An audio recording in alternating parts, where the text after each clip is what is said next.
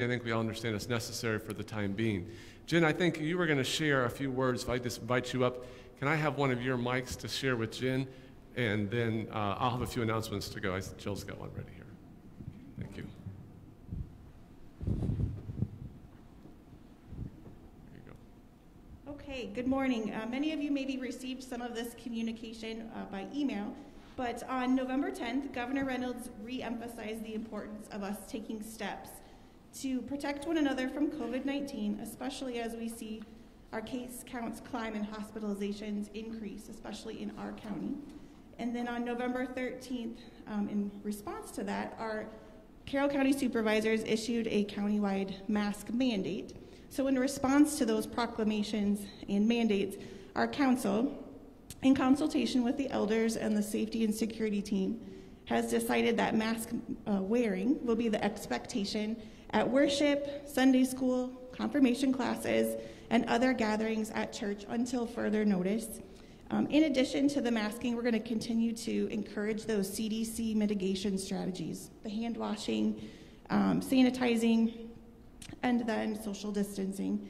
For those members who are at higher risk or uncomfortable attending in person, we continue to offer our Facebook Live services and we encourage all members to participate in those additional streamed offerings throughout the week.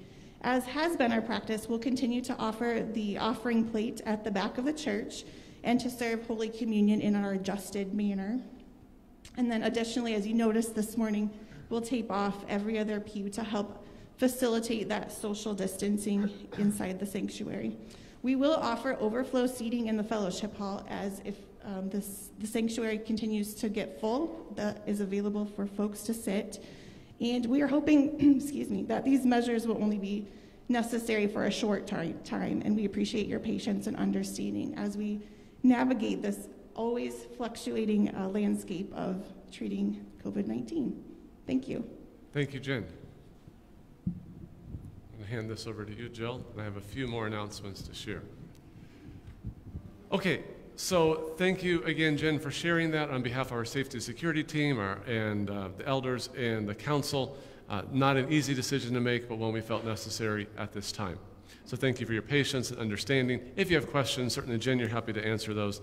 Anyone on our council will be happy to address that. You can visit with me. Happy to talk with you about that. There's a little graphic here in your worship folder to kind of lays that out. It's also available online and on the website couple other things, uh, three things actually. One is happening this evening. We are continuing with our event, our family equipping event.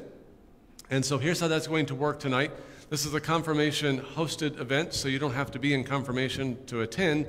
But we have uh, DCE Bethany Coleman is here from Lutheran Family Service. She's going to be in the nave with our youth, and she's visiting about mental health and especially depression among that uh, demographic. It's an important conversation. Uh, we may think, oh, that doesn't happen, but it, it does, and we want to equip our kids to be able to respond to this in a healthy way.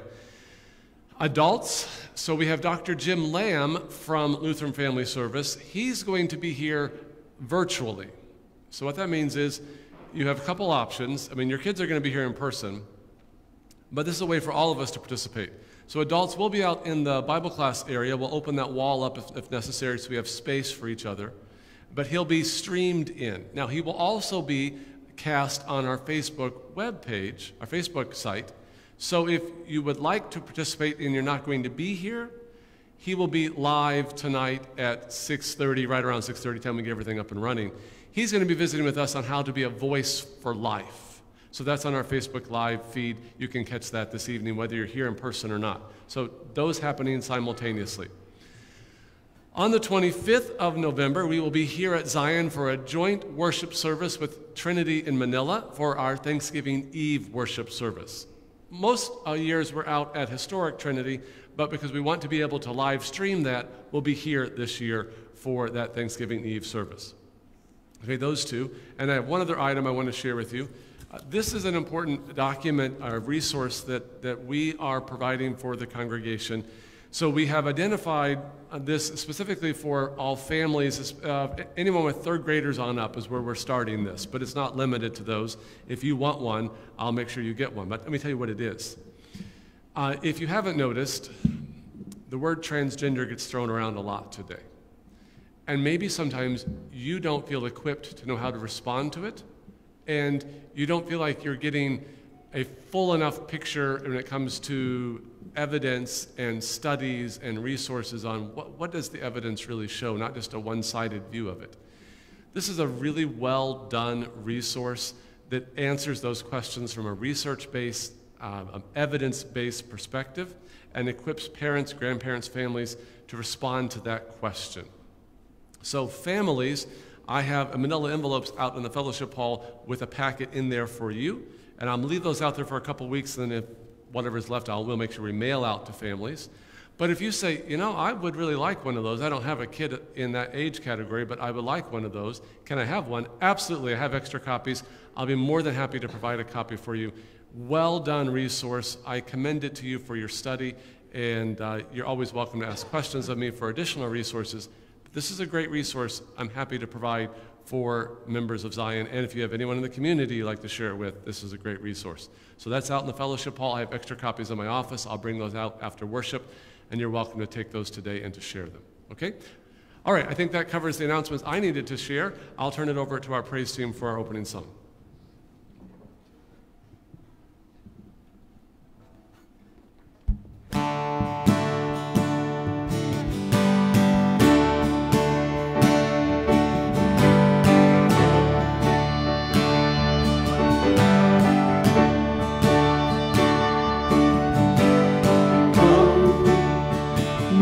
The time to worship.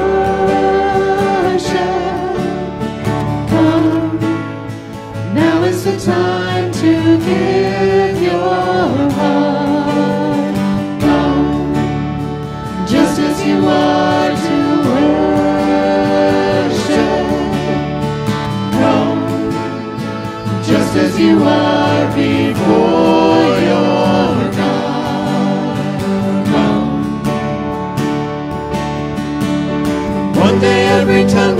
confess you are God. One day every knee will bow. Still the greatest treasure remains for those who gladly choose you now.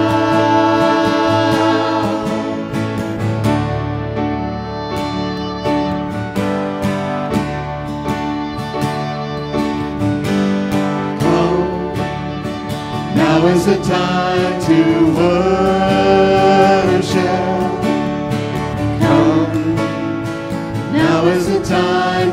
To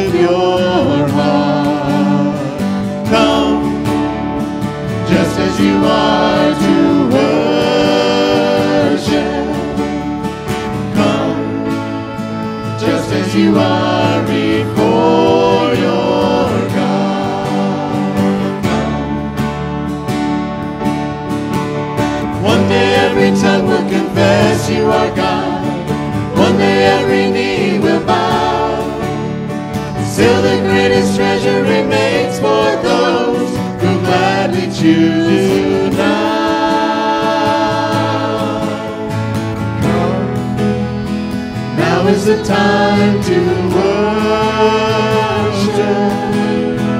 Come, now is the time to give your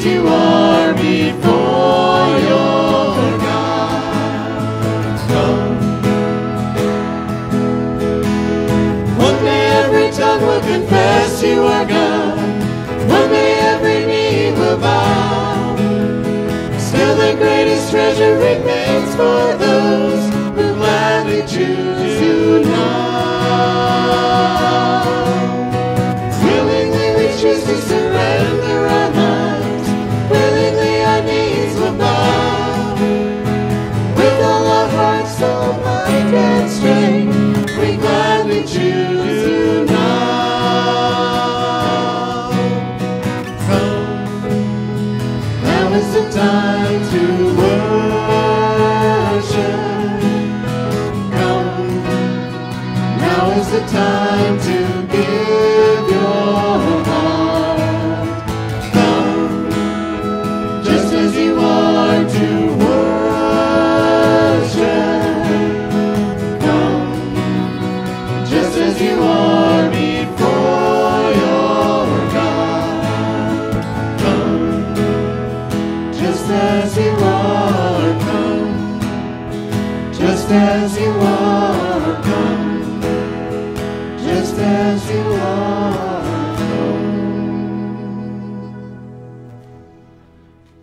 Stand, I had a couple of announcements I forgot to make, which not uncommon for me. So, uh, a couple of things I forgot. One, we've had to make the difficult decision with our, pre, our, our Christmas programs to cancel those for this year. It's not a decision we want to make, and it's not one we make lightly. But my encouragement for each of us is even though that we will feel like this is something, again, COVID has taken from us, and it has, to remember what it cannot take from us. It cannot take Christ from us. It cannot take Christmas from us. It cannot take forgiveness, life, and salvation from us. It cannot take any of those things from us because Christ's promise is immune to this virus.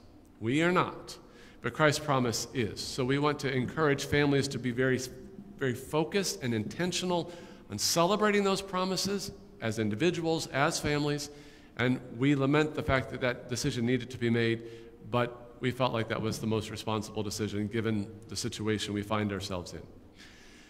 Number two, so that you understand why I'm not wearing the mask in the front, that's for a couple reasons. One, I'm far enough from you not to be a concern distance wise, but two, with a microphone right here next to my face, if I had a mask on, all you would hear is scratches. And then for those watching online, they wouldn't be able to hear either because the microphone would be just static. So that's why, but I will make sure to put that back on as soon as the microphone is no longer necessary after the worship service. Okay, let us stand. In the name of the Father, and of the Son, and of the Holy Spirit, Amen. I cry to you, O Lord. In the morning, my prayer comes before you. Oh, let my mouth be filled with your praise and with your glory all the day. Hide your face from my sins, O Lord, and blot out all my iniquities. Create in me a clean heart, O God, and put a new and right spirit within me. Cast me not away from your presence and take not your Holy Spirit from me. Restore to me the joy of your salvation, and uphold me with a willing spirit. Help me, O Lord, this day to live without sin. O Lord, have mercy on me. Have mercy on me. O Lord, let your mercy be on me as my trust is in you. Hear my prayer, O Lord, and let my cry come to you.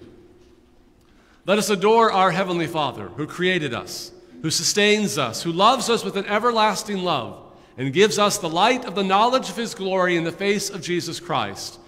We praise you, O God. We acknowledge you to be the Lord. Let us glory in the grace of our Lord Jesus Christ, who, though he was rich, yet for our sakes became poor, who in every respect was tempted as we are, yet without sinning, who went about doing good and preaching the gospel of the kingdom, who became obedient unto death, even death on a cross who died and is alive forever, who has opened the kingdom of heaven to all believers, who is seated at the right hand of God in the glory of the Father, who will come again as judge and king.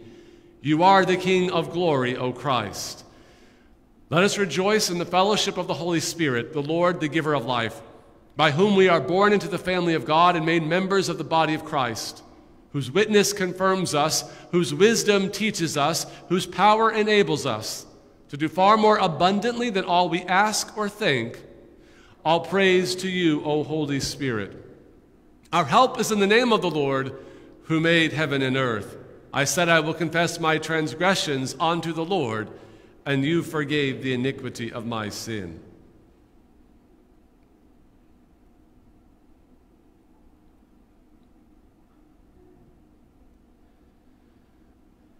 I confess to God Almighty before the whole company of heaven, and to my brothers and sisters in Christ gathered in this place, that I have sinned exceedingly in thought, word, and deed, by my fault, by my own fault, by my own most grievous fault. Wherefore I pray God Almighty to have mercy on me, forgive me all my sins, and bring me to everlasting life. Amen. The Almighty and merciful Lord, grant to me pardon, absolution, and remission of all my sins. Amen. Restore us again, O God of our salvation, and put away your indignation toward us. Be pleased, O God, to deliver me. O Lord, make haste to help me.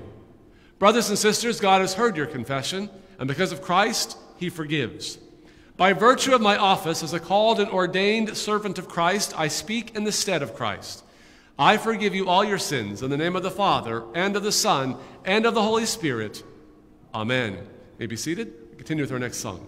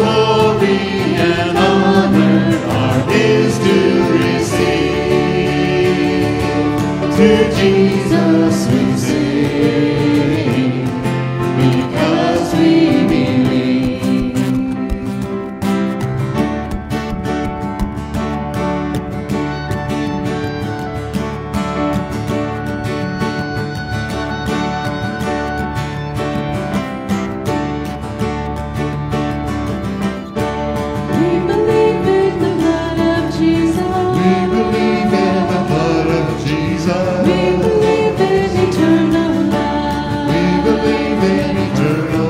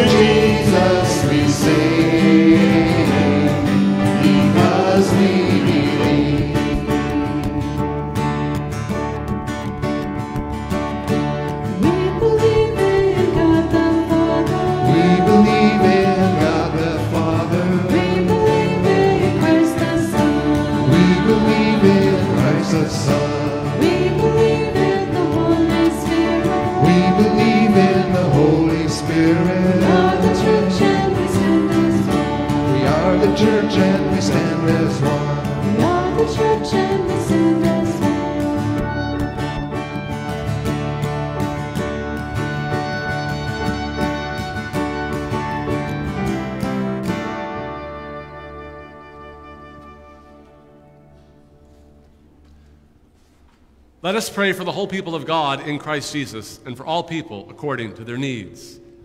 For the gospel of Jesus Christ, that it may be proclaimed gladly and clearly and freely in all the world, and that all humankind hear and believe, be forgiven and saved, relieved and released. Let us pray to the Lord, Lord, have mercy. For the Holy Christian Church, that we celebrate the many blessings of abundant and everlasting life that we declare and defend the precious value of every human being at every stage, in every health condition, no matter what she's done, no matter what he can't do. And that we speak truth, share love, listen, assist, accompany, embrace, and befriend. Let us pray to the Lord. Lord, have mercy. For the cultures and governments of the world, that those to whom our Lord has assigned authority act in accordance with his will, that each person, from the invisible miracle of conception to the moment of natural death, has life and has it to the full, and that laws ensure it especially unto the vulnerable. Let us pray to the Lord. Lord, have mercy. For those guilty of violence against life, that they know the unconditional compassion of Almighty God and His forgiveness even for them, and that they abandon the burdensome ways of sin and selfishness, death, and the devil. Let us pray to the Lord. Lord, have mercy. For any in need or in danger, especially the unborn and the aged, single mothers and orphans, the terminally ill and the chronically suffering, those with impaired minds and compromised bodies, and all among our number whom we remember by name before God in our hearts. That they receive the power of God in Christ and his presence through his people. Let us pray to the Lord, Lord, have mercy for all celebrations of life, marriage, parents, and children, that by our appreciation of these gifts and privileges of God's grace, we may proclaim the goodness of our Lord Jesus Christ to all creation and look forward to the resurrection of the body and the life everlasting in his heavenly kingdom. Let us pray to the Lord. Lord, have mercy. Into your hands, O Lord, we commend ourselves and all for whom we pray, trusting in your mercy through your Son, Jesus Christ our Lord. Amen.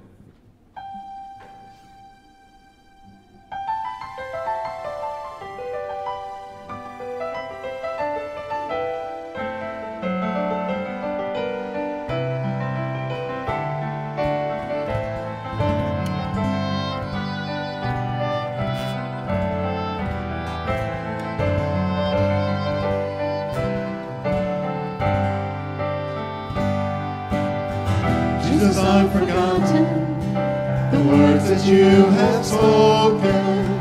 Promises that burned within my heart have now grown dim. With a doubting heart I follow the paths of earthly wisdom.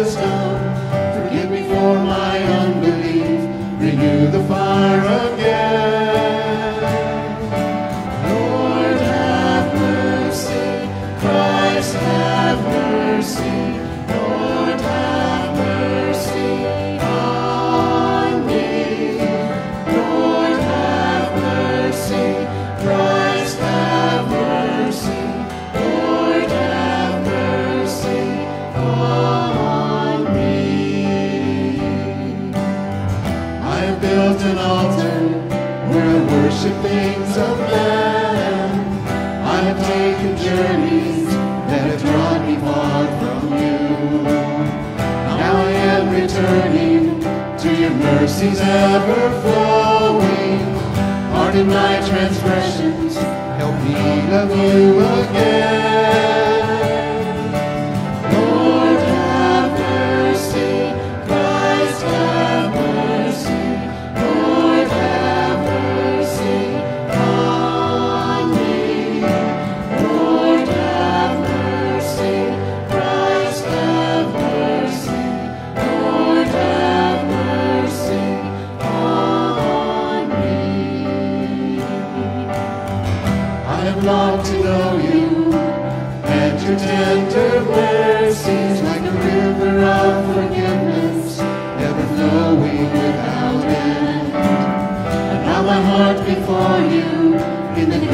Of your presence, grace forever shining like a beacon in the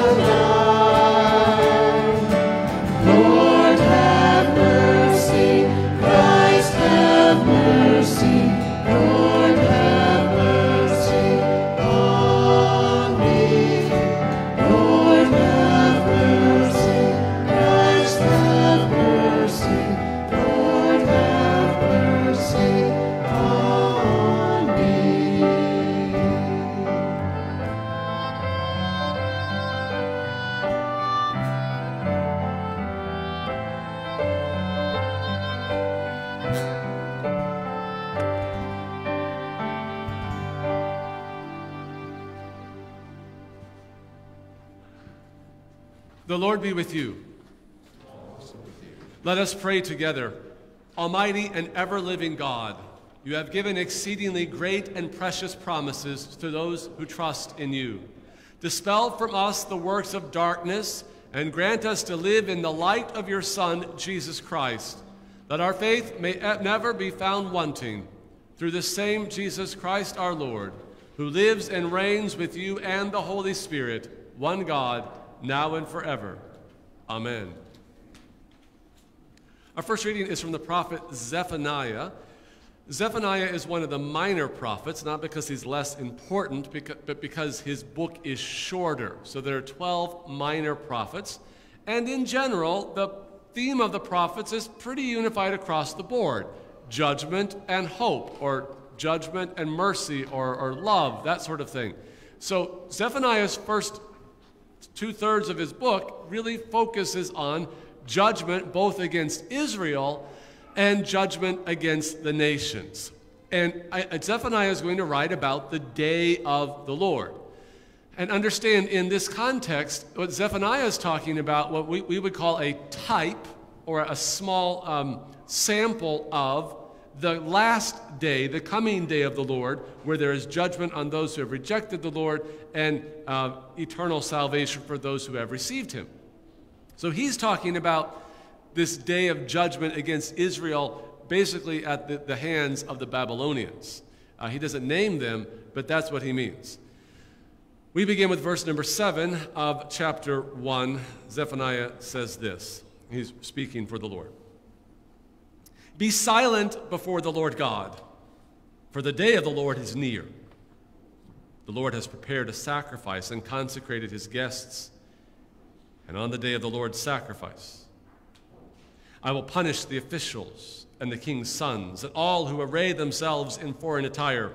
On that day, I will punish everyone who leaps over the threshold and those who fill their master's house with violence and fraud. On that day, declares the Lord, a cry will be heard from the fish gate, a wail from the second quarter, a loud crash from the hills. Wail, O inhabitants of Mortar. For all the traders are no more, all who weigh out silver are cut off. At that time I will search Jerusalem with lamps, and I will punish the men who are complacent, those who say in their hearts, The Lord will not, not do good, nor will he do ill. Their goods shall be plundered, and their houses laid waste. Though they build houses, they shall not inhabit them. Though they plant vineyards, they shall not drink wine from them. The great day of the Lord is near, near and hastening fast. The sound of the day of the Lord is bitter. The mighty man cries aloud there. A day of wrath is that day, a day of distress and anguish, a day of ruin and devastation, a day of darkness and gloom, a day of clouds and thick darkness, a day of trumpet blast and battle cry against the fortified cities and against the lofty battlements. This is the word of the Lord. Thanks be to God. So, obviously, you heard a strong note of judgment there. And it, it, would just be important for you to understand that Zephaniah is not all judgment. He concludes his book with sweet words of gospel. So, again, it's always important to read scripture in context so we don't get the wrong idea about, about the prophets. They do have strong words of judgment, but they also have these sweet words of gospel and forgiveness. And so you just have to read on in Zephaniah and you would find that. Our second reading is from 1 Thessalonians chapter 5. And we will have this as the basis of our message today, but Paul continues to offer words for encouragement to the Thessalonians. We begin with verse number one. Now, concerning the times and the, the seasons, brothers, you have no need to have anything written to you. For you yourselves are fully aware that the day of the Lord will come like a thief in the night. While people are saying, There is peace and security then sudden destruction will come upon them as labor pains come upon a pregnant woman, and they will not escape. But you are not in darkness, brothers, for that day to surprise you like a thief. For you are children of light, children of the day. We are not of the night or of the darkness. So then, let us not sleep as others do, but let us keep awake and be sober. For those who sleep, sleep at night, and those who get drunk are drunk at night. But since we belong to the day, Let us be sober, having put on the breastplate of faith and love, and for a helmet the hope of salvation. For God has not destined us for wrath, but to obtain salvation through our Lord Jesus Christ, who died for us so that whether we are awake or asleep, we might live with him. Therefore, encourage one another and build one another up, just as you are doing. This is the word of the Lord. Thanks be to God. I invite you to stand. We say together, Alleluia. For to everyone who has will more be given, and will have an abundance. Alleluia. The Holy Gospel according to St. Matthew, the 25th chapter. Glory to you, O Lord. We begin with verse number 14. Jesus is speaking, and he's speaking specifically about the kingdom of God all right? For it, Jesus says, it, that is the kingdom of God, would be like a man going on a journey who called his servants and entrusted to them his property. To one he gave five talents, to another two, to another one, to each according to his ability. Then he went away. He who had received the five talents went at once and traded with them, and he made five talents more. So also he who had the two talents made two talents more. But he who had received the one talent went and dug in the ground and hid his master's money. Now, after a long time, the master of those servants came and settled accounts with them. And he who had received the five talents came forward, bringing five talents more, saying, Master, you delivered to me five talents. Here, I have made five talents more. His master said to him, Well done, good and faithful servant. You've been faithful over a little, I will set you over much. Enter into the joy of your master. And he also, who had the two talents, came forward, saying, Master, you delivered to me two talents. Here I have made two talents more. His master said to him, Well done, good and faithful servant. You've been faithful over a little, I will set you over much.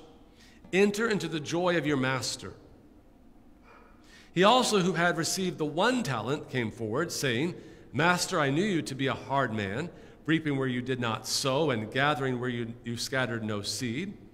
So I was afraid, and I went and hid your talent in the ground. Here, you have what is yours.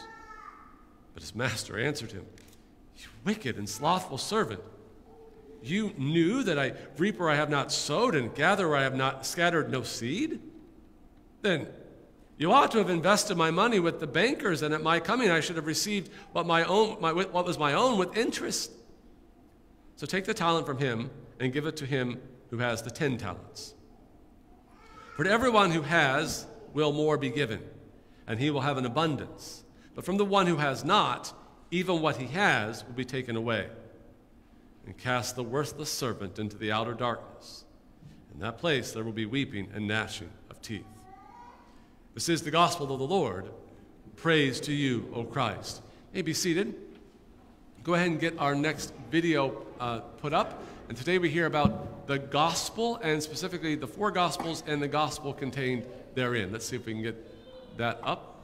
Oh, see if you find it that way instead. Otherwise, I think we just had it minimized if you just want to pop it up there. There it is.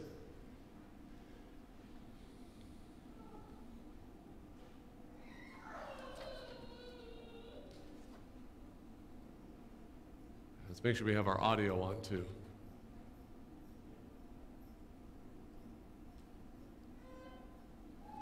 Go ahead and hit pause. Is, is our audio on?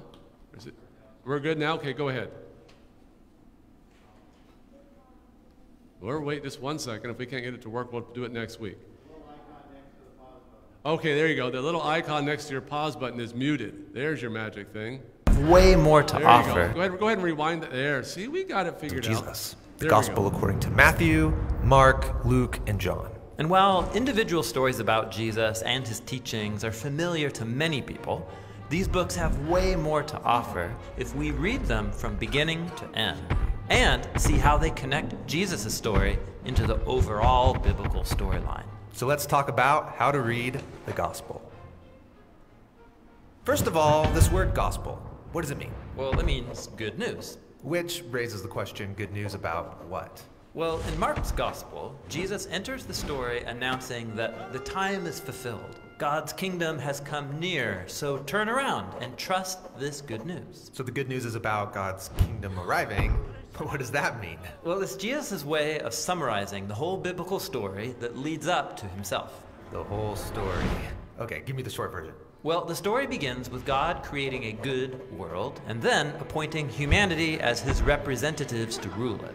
But then the humans rebel over and over, leading to a world of violence and death. That's a problem. But God's committed to making it work. So he chooses Abraham and his family to restart the project. Then, through Moses, God brings the family into a garden land of abundance so that he can restore all of the nations through them. Right, Israel becomes a kingdom with amazing kings like David, but eventually Israel rebels too, and it leads them into destruction. But Israel's prophets said that God wasn't giving up. He was going to personally come and restore Israel so that his justice and peace could spread to all nations and to all creation. This hope was called the kingdom of God. And that's what Jesus said he was bringing to Israel. Yes, Jesus' good news is about God's kingdom, the new creation that was arriving to restore humanity to their role as God's partners in ruling the world. This is why the gospel has so many stories about Jesus liberating people from death and disease, along with all of his teachings about generosity to the poor, or forgiveness and loving your enemies. He was inviting people to live in God's new world. Exactly. And so, this is one of the main goals of the gospel to show how Jesus is bringing the whole biblical story to its fulfillment. So that's why the gospel authors are constantly appealing to the Hebrew scriptures while telling the story of Jesus. Yeah, like when Jesus is born in Bethlehem, Matthew reminds us that this was anticipated by the prophet Micah. And he directly quotes from Micah. Yeah, these direct quotes are really common. But more often, the gospel authors weave biblical phrases into the story without telling you, so you can discover it for yourself.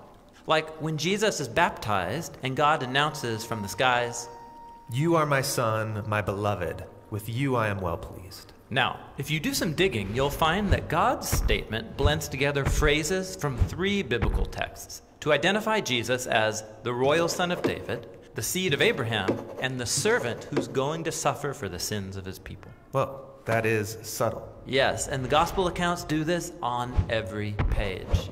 Every book is constantly showing how all of the biblical stories about Abraham or Moses and David and all the prophets, all of it points forward to Jesus.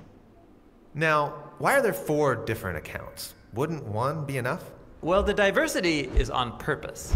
Each of the four gospel authors has shaped and arranged their stories about Jesus differently so they can emphasize different things about him. Matthew presents Jesus as a greater Moses, and so he's grouped Jesus' teachings into five large blocks, just like the five books of the Torah. Luke highlights how Jesus is God's royal servant from the book of Isaiah who brings God's light to the nations. Mark presents Jesus as a new start for humanity, bringing the mystery of God's new creation crashing into the present. And John focuses on Jesus' claim to be Yahweh, the God of Israel, become human, to do for us what we could never do for ourselves. Those are really different from each other, but they all tell the same basic story. A man from the region of Galilee teaching this good news, but who's ultimately crucified as a criminal. Yes, all four books of the gospel are showing how the arrival of God's kingdom through Jesus led him up to the cross, where he was enthroned as the king of God's new world. He's given a robe, a crown, and a scepter. Right. And as Jesus suffers the consequences of humanity's rebellion, he's showing that the power of God's kingdom comes through his love and self sacrifice. And when he's raised from the dead, we're watching the dawn of the new creation. So, the gospel authors don't just want their readers to know about the good news of God's kingdom, they want them to become a part of it. Yes, the gospel is designed to persuade us to trust and follow Jesus so that we can participate in the new creation that he began.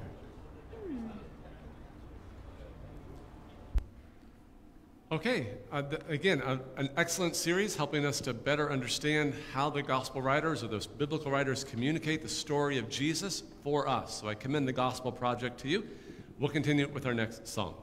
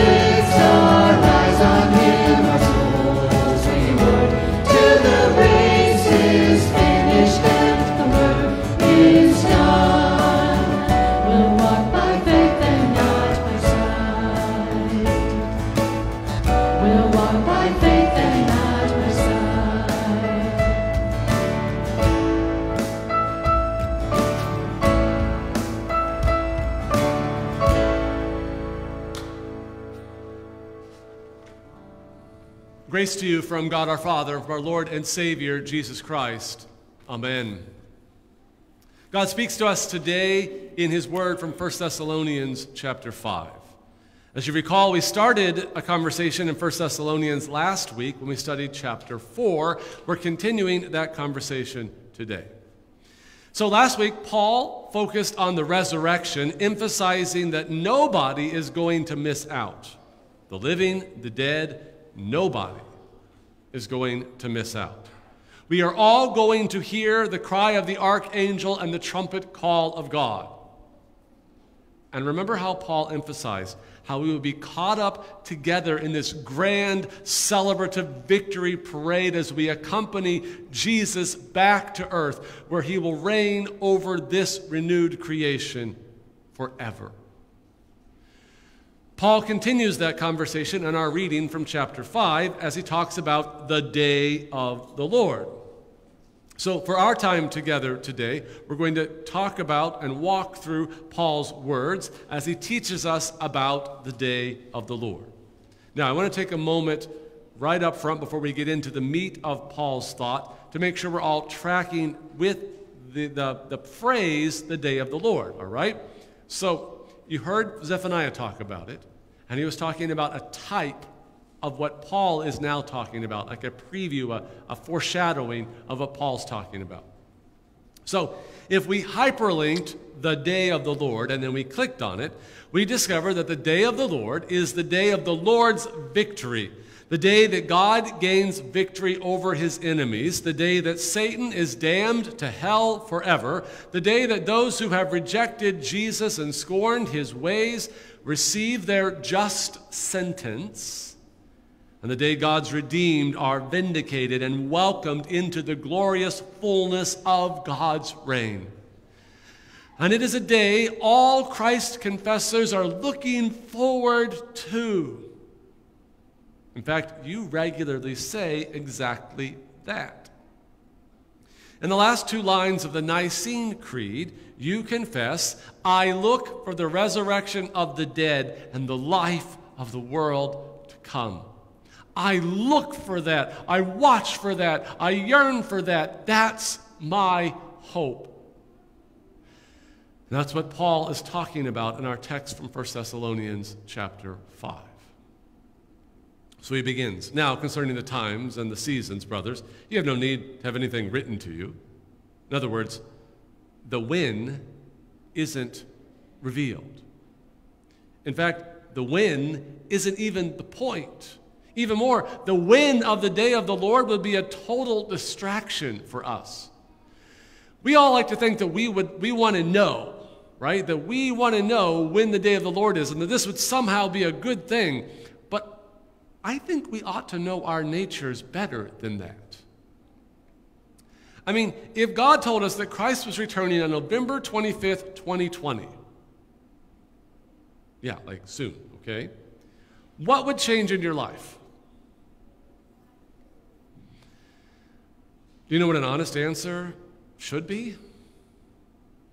Just about nothing.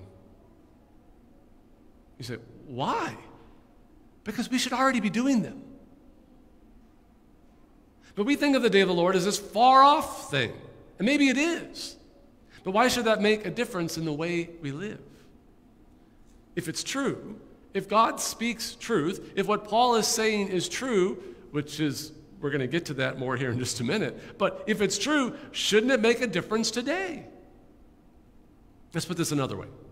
Let's pretend uh, your insurance company calls you and they say to you, hey, we're going to be sending an inspector to your house on June 30th, 2025 to verify, verify some of the details on your policy and uh, to check up on your property, make sure you're caring for it, to see if we need to raise your rates or not.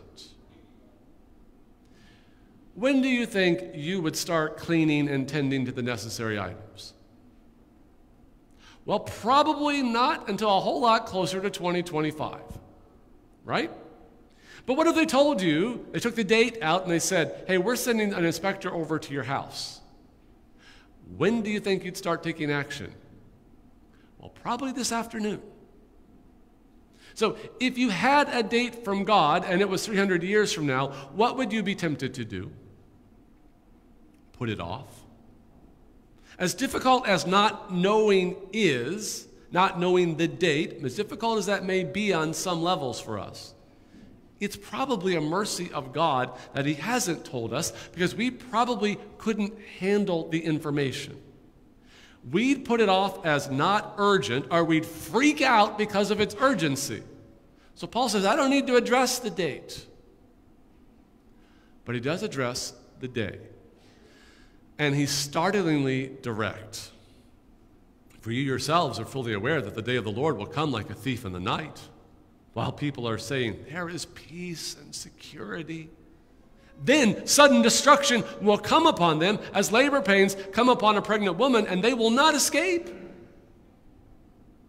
The day of the Lord will come, he says, like a thief in the night. Suddenly, swiftly, all at once, it's upon you. While people are caught up in their happy stories, they're indifferent, they're, they're just living life in their own way and just caught up in their own story. Sudden destruction, no escape. You can hear echoes of John's apocalyptic vision of the day of the Lord from Revelation chapter 6. The sky vanished like a scroll that is being rolled up, and every mountain and island was removed from its place. Then the kings of the earth, and the great ones, and the generals, and the rich, and the powerful, and everyone, slave and free, hid themselves in the caves and among the rocks of the mountains, calling on the mountains and the rocks, Fall on us and hide us from the face of him who is seated on the throne and from the wrath of the Lamb, for the great day of their wrath has come, and who can stand? Now I know we all want to play nicey nice with this. This doesn't really play well in culture because, you know, it's just a little too judgy. It's a little too strict. I mean, it makes people uncomfortable to talk like this.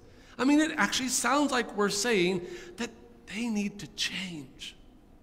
That, that somehow their lives don't measure up. That, that God might actually show up and be angry at them for the way they've lived it, and He might do something about it. It makes it sound like we're saying that God has some sort of righteous standard that he uses to judge all people. Like we're saying that our justifications and explanations for the way we're living that they might be inadequate before a holy and righteous God. And that's precisely what we're saying. The day of the Lord is coming. The holy and righteous God is coming to gain victory over his enemies. And here's the thing Many nice people are enemies of God. They're enemies of God because they scorn His word. They scorn what He has called good and pursue a good of their own defining. They give God lip service, saying that God's a great idea, but they are living at odds with what God has called good and the day of the Lord will come upon them like a thief in the night, suddenly, unexpectedly, and will mean their destruction. And this would be the case for every one of us if God had not taken action for us in Christ, if God had not dealt with our sin in the cross of Jesus, if God had not poured all of his righteous wrath against our sin on Jesus in his cross. And it's because of Jesus because of his substitutional death in our place, because Jesus has propitiated God's wrath and secured our righteous standing before God, that Paul can write, But you are not in darkness, brothers, for that day to surprise you like a thief. For you are all children of light, children of the day. We are not of the night or of the darkness. You see, God has done something for you. He has brought you out of darkness into his light.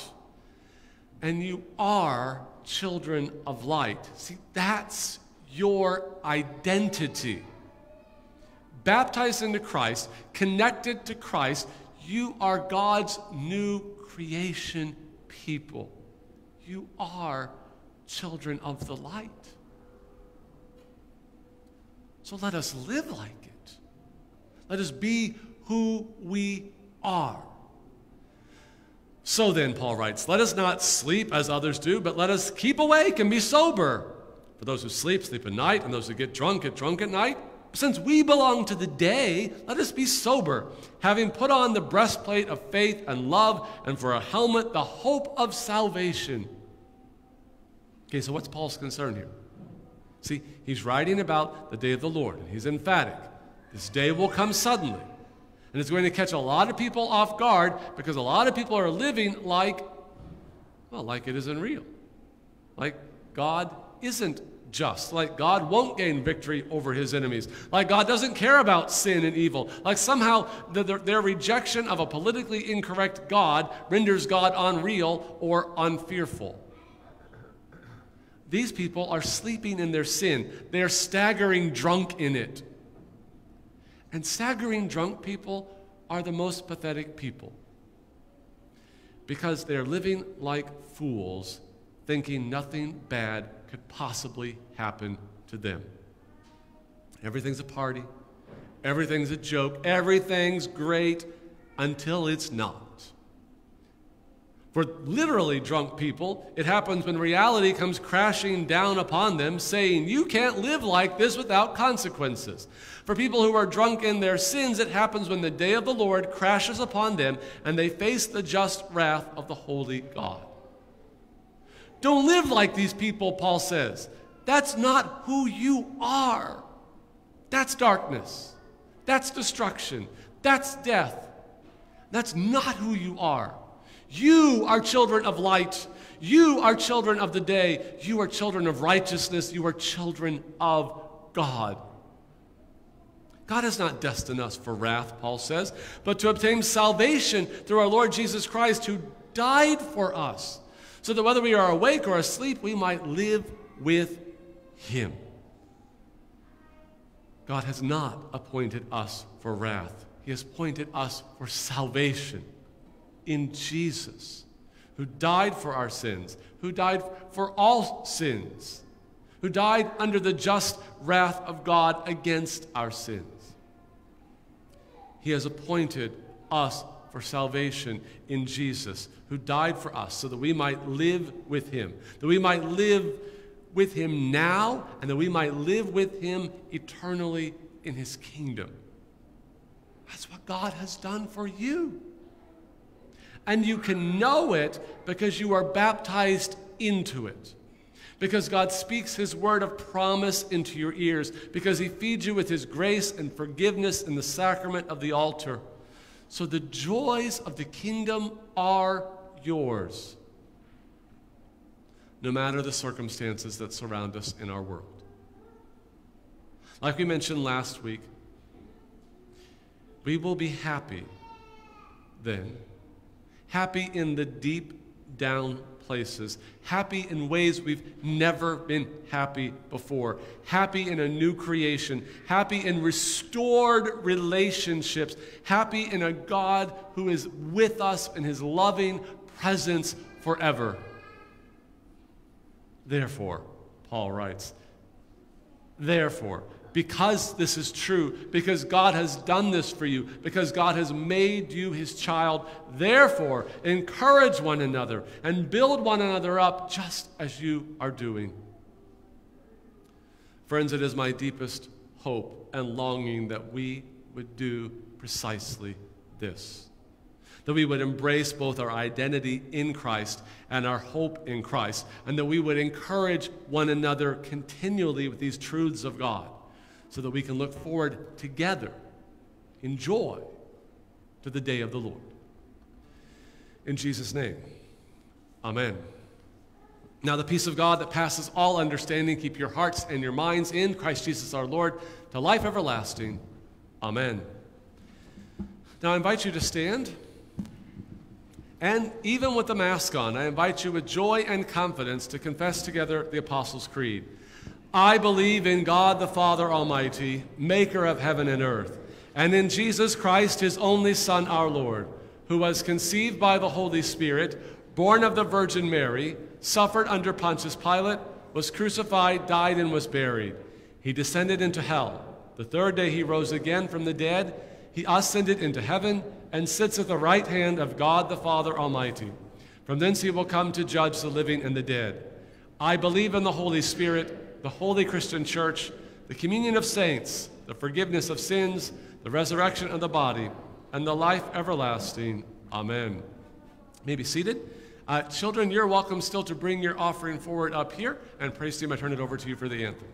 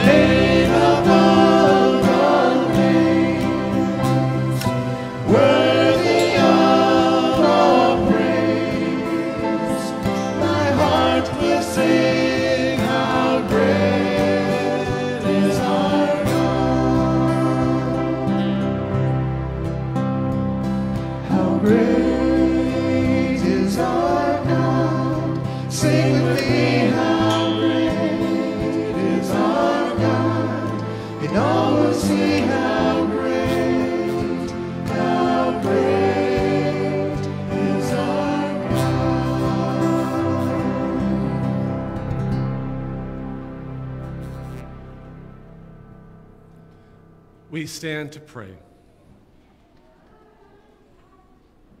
Lord God, we give you thanks, even in the midst of a pandemic, that you are bigger than this pandemic, that your promises in Christ are immune to viruses, and we may find comfort in your promises. Today we find comfort in the promise of the day of the Lord and how we yearn for this day, not only because it is a day in which you will gain victory over all who have opposed you, but it's also a day when you will restore your creation, make it whole, and make it new. And we will be freed from all the things that plague us due to the curse of sin. So we will be free to rejoice and free to live and free to celebrate without fear of disease or infection or anything of this nature. We long for this day. I pray that you help us as we anticipate this day to live as the people you have made us to be, people of the light, children of God. Help us confess Christ in our vocations, to live out our confessions in our daily lives, and to look forward together in joy to the coming of Christ and the day of the Lord. Lord, in your mercy, hear our prayer. Father, we pray for those in need of your care. Many will be named at this altar, many not. Many suffering from a variety of ailments, both in body and mind and relationships. We pray that you would grant them the healing you have in store for them and grace sufficient for each day. We pray especially for Gage Carlson and Mary D. Bowman, Patty Meaves, Carolyn Werner, Jeannie Grun, Luke England, Nancy Grimm, Dwayne Burr, Ron Schilling, Connie Sorby, Nancy Walters, Ron Bruce, Sherry Steffes, Jim Devers, Rick Spock, Natalie Mason, Leonard Damon, Gail Vinke, Margaret Backus, John Sonicson. We entrust them to your care. Lord, in your mercy, hear our prayer. Father, we rejoice with those who rejoice and grieve with those who grieve. We rejoice with the Bauer family as they celebrate the baptism yesterday of Asher and pray that you would help this child and all baptized into Christ daily claim their identity in Christ. And we grieve with the Lamp family as they grieve the death of Phyllis Lamp. We ask that you would grant comfort to this family and assurance of resurrection to those who have died in the faith. For all of us who grieve, may we also look to Christ for hope in the midst of our grief and sorrow. Lord, in your mercy, hear our prayer. For our pastors and missionaries, for Pastor Oliver, for Pastor Vogel, for Pastor Ferry, for Pastor Manty, and for Pastor Sharp, and for cross cultural worker Molly Ulrichsen. Protect them in the midst of this pandemic, that they may continue to share Christ and his gospel, that those who hear this gospel may confess Christ and be saved. Lord, in your mercy, hear our prayer. For law enforcement and military men and women, especially we name Scott Stribe, Stephen Grimm, Marshall Hanson, Aaron Stokel, Lillian Ginzen. We ask that you would defend them from harm and allow them to serve with integrity and honor. Lord, in your mercy, hear our prayer. For our partnership with Trinity in Manilla and for our preschool, that Christ may be shared in these places and your kingdom advanced. For our local community school, that you would protect our teachers and students, allow them to share knowledge and gain wisdom that may be used in such a way to give you glory and to bless their neighbors. These prayers we pray in the name of Jesus, and at his command and invitation, we are bold to pray together Our Father, who art in heaven, hallowed be thy name. Thy kingdom come, thy will be done, on earth as it is in heaven. Give us this day our daily bread, and forgive us our trespasses, as we forgive those who trespass against us. And lead us not into temptation, but deliver us from evil. For thine is the kingdom, and the power, and the glory, forever and ever. Amen. Receive the blessing of the Lord. The Lord bless you and keep you. The Lord make his face shine upon you and be gracious unto you. The Lord look upon you with favor and give you peace. Amen. We turn to our final song.